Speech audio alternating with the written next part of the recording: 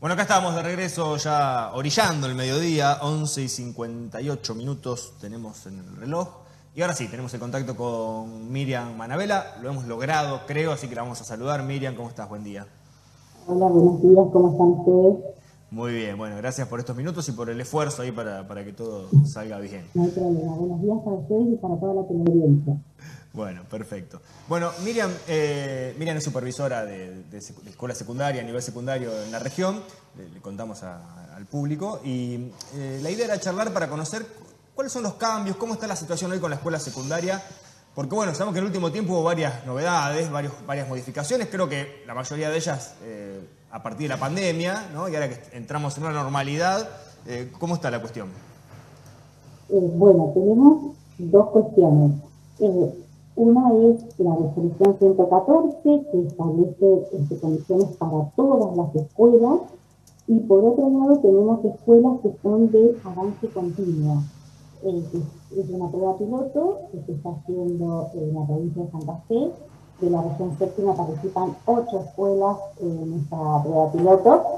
Eh, bueno, eh, uno de los grandes cambios que introduce esta nueva normativa y que supongo que por ahí es un poco el objetivo de, esta nota, es, que cambia el régimen de promoción, porque el régimen de promoción, este, a través de todas las circulares que fueron saliendo en periodo de pandemia, habían flexibilizado la cantidad de espacios que los alumnos podían agregar de un año a otro. Eh, a partir de lo que sería fin del ciclo lectivo 2023, que se va a operar en realidad en febrero de 2024, y los alumnos, para poder promover, no pueden quedarle más de dos espacios previos, como era, digamos, antes de la pandemia. Pero bueno, esto requiere que desde las escuelas, y estamos trabajando en ese sentido, estemos notificando a las familias, a los chicos y trabajando con los profesores para que realmente pueda darse esta instancia de la mejor manera porque hay chicos con muchos espacios debido a que eh, justamente por la flexibilidad que se había generado este producto de las circulares que se dio en los años anteriores, que permitía pasar con trayecto, y cada trayecto tenía un conjunto de espacios curriculares, eh, eso significó que haya chicos con muchos espacios previos. Entonces, es fundamental que estemos trabajando en las escuelas eh, en esta cuestión, que los chicos tomen conciencia y los papás acompañen en esta cuestión de que hay que prepararse, que hay que presentar trabajo, porque si cambian la forma del examen, no va a ser con el tribunal, sino con un trabajo y la defensa posterior de trabajo, pero que bueno, que resuelvan los trabajos, que consulten a los profesores y eh, de las escuelas que están generando también los canales para que los chicos tengan ese material y para que ustedes estén trabajando además se trata de una evaluación formativa. ¿Qué quiere decir esto? El docente no va a decir solo está bien o está mal, sino que va a, ir construyendo sobre los errores para orientar en la corrección, hasta una nueva presentación y así sucesivamente.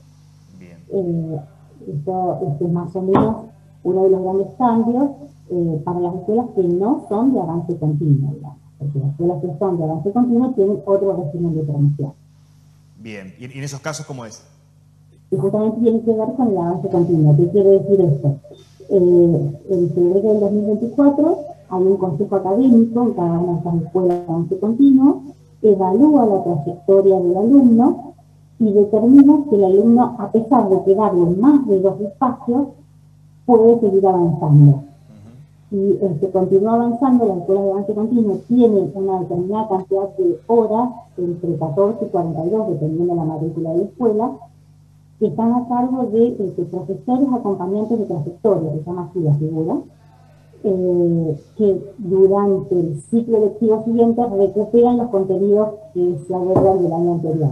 O sea, el alumno no repite, continúa avanzando, si el consejo académico considera que realmente su trayectoria medita, por ejemplo, se no puede una trayectoria nula, esto se construye con los chicos dentro de la escuela, si el chico no va y no tiene acceso al avance continuo.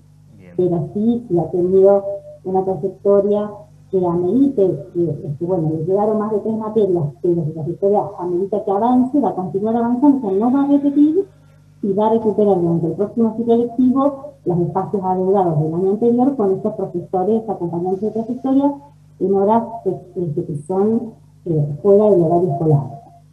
Miriam, estos cambios que contabas en el comienzo, sobre todo, ¿tuvieron una instancia de, consulta con los docentes? Digo, porque también lo que veíamos años anteriores, cuando se dieron las modificaciones, era algún cuestionamiento de que no habían sido consultados o que se habían resuelto un poco ahí a, mitad de camino. Entiendo que también por la urgencia, por lo que había representado la, pandemia y demás, digo, ¿no? Pero ¿se dio esa instancia? En el mes de febrero se dio un borrador de este documento que fue analizado por las escuelas, no por ahí con suficiente tiempo, pero sí fue, este, llegó y se analizó. Eh, y las escuelas hicieron un aporte en función de lo que recibieron y bueno, este, eh, emitieron sus puntos de vista con respecto a, diferentes aspectos de, esta normativa. Bien, bien. Bueno, y, esto, digamos, obviamente no tiene un carácter retroactivo, ya lo que pasó hacia atrás ya está, digamos, todo a partir de este año. No, incluso todos los ciclos, o sea, sí, por supuesto, pero ¿cuál es la particularidad que se tiene y que nos preocupa desde la escuela y por eso tanto énfasis en comunicar porque, como le decía, puede haber alumnos que tengan muchos espacios previos. Claro. Y tiene que ser regularizado antes de marzo de 2024. Ahí está, ahí está, bien. Bueno, así que tendrán que acostumbrarse los alumnos a acomodarse a esta nueva instancia y también los docentes, todos reacomodándose, ¿no? Para, para tener en claro, cuáles, son las exigencias. Para que está en quinto año, esto era la normalidad, digamos. Pero el que está en cuarto, que vivió todo el periodo de pandemia, es nuevo. Por eso es que hay que informar, hay que poner en conocimiento, porque significa este, un cambio al, modo en el que desde el 2020 esta parte nos hemos este, manejado. Perfecto, perfecto, ahí está claro. Bueno, esperemos que, rinda sus frutos, digamos, ¿no? que este regreso, digamos, a esta instancia evaluatoria eh, pueda dar buen resultado, ¿no? porque también, digamos, todos los cambios que se dieron eh, generaron complicaciones. Me imagino que en, el, desarrollo habitual, desde el dictado de clases que se tuvo que dar ¿no? de manera remota, eh, recuperar contenidos, cambiar la forma de evaluación, fue un gran desafío para todos ¿no? dentro del Eran muchísimos cambios. Este, realmente hemos este, vivido años muy intensos en cuanto a modificaciones permanentes de los marcos de referencia, ¿no? Entonces, bueno, eh, eso obligó a, ir adaptándose a situaciones más variadas. Eh, bueno, ahora tenemos este, otro marco de referencia, otro marco normativo, y bueno, importante es que eh, las escuelas ya están trabajando y que la familia acompañe y que los chicos también se preparen, porque este, eh, es un trabajo en equipo. Sí, que imagino que en esas instancias críticas, porque fue toda una cuestión crítica, eh, por allí la, prioridad estaba en poder sostener a los chicos dentro de las aulas, ¿no? que, que sigan su, que mantengan dentro de la institución, digo, ¿no? Y, después tratar de que los contenidos también se vayan incorporando, pero en, esa instancia tan compleja era justamente esa la primera necesidad. Sí, sí, sobre todo el año 2020 fue sumamente complejo porque eh, aproximadamente yo en ese momento no estaba en, la televisión, pero lo que estuve colectando después, un tercio de la matrícula se sostenía eh, a través de clases por mí y demás, mm. pero había una gran cantidad de chicos que no nos podíamos sostener. Algunos porque no podían y otros porque no estaban motivados y no querían y no, no hacían tampoco, pero fue un poco de, todo. Bien, bien. ¿Y eso se pudieron recuperar en general? ¿Volvieron, digamos, con los años siguientes? Eh, sí, hay, eh, sí, en general se sostiene la, matrícula. Eh, lo que vemos que por ahí los chicos vuelven a empezar, a veces no se sostienen durante el ciclo lectivo. O sea, este, una preocupación de las escuelas y, un seguimiento que se está haciendo de la trayectoria, porque bueno, eh, introduce esto de la 114, que es la normativa que, les estaba comentando, la, la trayectoria como algo a única, completa, obligatoria. Entonces, bueno, en esta cuestión de trabajar. El chiquito empieza el nivel inicial y termina el quinto año egresando de la escuela secundaria. Eh, o sea, esto que estoy comentando en realidad es en el marco de una normativa que incluye a los tres niveles de la educación obligatoria. Y por lo tanto el compromiso de cada uno de los niveles de acompañar a las trayectorias para que logremos el, el efectivo. En eso, bueno, hay este, eh, a veces algunas dificultades que nos vamos encontrando, a veces por falta de motivación de los chicos, a veces por dificultades para encontrarlos, porque se trasladan, porque no sabemos en la dirección, pero bueno, es siempre la preocupación. Desde la escuela también acompaña el equipo educativo, también el primer nivel de las distintas comunas y municipalidades en, hacer este seguimiento y, y, bueno, en tomar conciencia de que la educación secundaria es obligatoria y deben este, cursarla, aprobarla y egresar de la escuela secundaria. Bien, clarísimo.